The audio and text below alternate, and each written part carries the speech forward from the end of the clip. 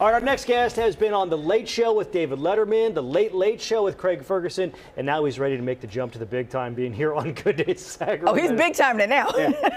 Welcome back to Paul Morrissey. Good morning. Good to see you. Thank you guys so much, John and Courtney. It's good to be in studio. Yeah, because we had you on Zoom before. Yeah. Yeah. And I used to work in news, so I, I'm amazed at how good the teleprompters are now. I used to have to get context just to read them because Really? they were like your cell phone Yeah. 20 feet away. Yeah, yeah, yeah. Yeah, I can I can read it. I'm just not very good. That's the- so uh, you were telling us during the break though, because you mentioned that you had a background that Kurtis Ming was your intern. Yeah, he was the, well, he was the intern at the station, Yeah. And then quickly became like he was like the first intern I ever saw that like started covering stories, Yeah. and like you know when people really get into something, like it, pretty soon it's so funny that this segment's called Call Kurtis because that's basically like, hey, is there any batteries? There's an extra camera. Call Kurtis. You know, like he ended up knowing what everything was. So I love he's, that. he's very weird. yeah. Wow. Wow. Okay. In a good way. But In if you need way. something done at the station, Kurtis is the guy to call, he right? the It's true. Yeah. He's utility. Still is. Okay, so I think that your career is a great footnote for this guy because you started off as a journalist. Now you're a comedian. He's got some comedic chops. Okay. He's a No, I don't. Journalist. Yeah.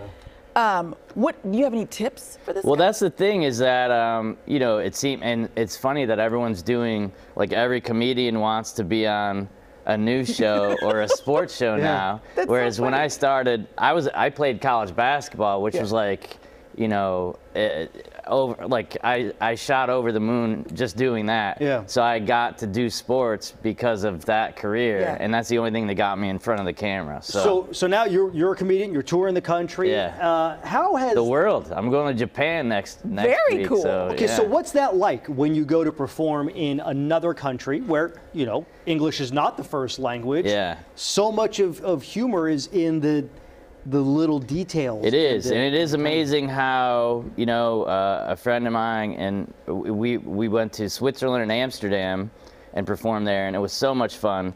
And we were just like, why don't we do like five new countries a year? That would be amazing. So you know, not that we were going to. Uh, Albany, New York, too too often, but maybe slip in Japan or Yeah. Tokyo instead of uh, Albany or Philadelphia this year.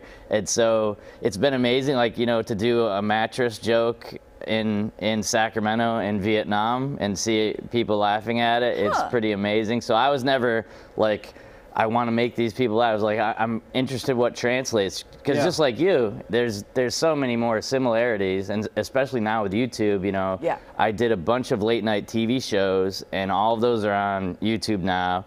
And people in other countries see them, and, and they're like, "Hey, can you do a show here?" Like I, I did some festival in Singapore, and the guy who came to the show in Singapore, which was a one-off kind of thing, like people didn't know what it was. He started a comedy club there. The next time I went, Oh. so it is amazing the influence that Right you know I've been doing it about 20 years, and it's amazing the changes that have gone through. Um, they, they want us to wrap, but I got to ask Oh, you this. No, no, I got to ask you this. So you're, you're, you're going on Late Night with David Letterman. What's it like?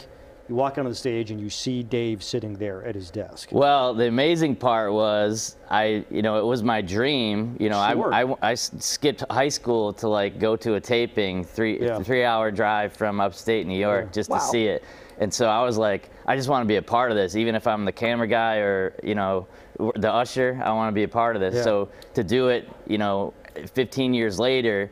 And then I show up and I'm on. My parents are in the audience, and Regis Philbin is the guest, and he talks too long, and I get bumped. oh, wow. And then, so I, I'm not on the show. David Letterman apologizes to me on the air, which was like even cooler. Yeah. So then everyone knew I was going to be on. But then he announced that he was going to retire. So then I'm like, I don't know if, if I'm even oh, going to be on the show. yeah. And then they had all these like famous people, but then they were nice enough to have me on. And it was like, to come back, I basically Yeah. had a, a rehearsal. And so I got to, you know, nerves out Paul. Shaffer's band plays the song that you tell him to play. I got to be on there with uh, Kaiser and and uh, you know a bunch of amazing people and got to meet Biff and all the people backstage and stuff. Right so on. yeah, it was a dream come. It, it was the perfect timing. If I'd have done it earlier, I'd have been too spoiled. It was good that I had to earn it. So, So you're performing in Sacramento though tonight and tomorrow at Laughs Unlimited. Yeah. Where you got your start. Yeah. So when I was doing the news, there was a woman and uh, Kane Anderson and Del Van Dyke. They both ran a, a, like a, the open mic at workshop thing, and uh, Karen was like, "Hey, you're really funny on the news. You should do stand up." And so that's how I ended up doing it. And you know, ended up doing the only the only thing I figured out later. I did a Nike commercial with Chris Paul, which I played a sports reporter, and I only worked three hours, and I made the same money that I did the full year. So I'm like, And didn't I have think to I, write a bunch of material for yeah, I didn't have to work eight hours a day or do stories I didn't want. So Yeah. I'm like, maybe this is better for me. You have found your niche. Not to rub it in. All right, well, if the bosses are watching, I quit. Catch Paul this weekend at Laughs Unlimited. Uh, we're going to Great link all the details yeah. to our website, gooddaysacramento.com. Show info and today's date. Welcome back to the Good Day Studio. Thank you guys so much for having me. Thank you for Appreciate coming, it. Paul. Appreciate it. Thanks. All right, it is.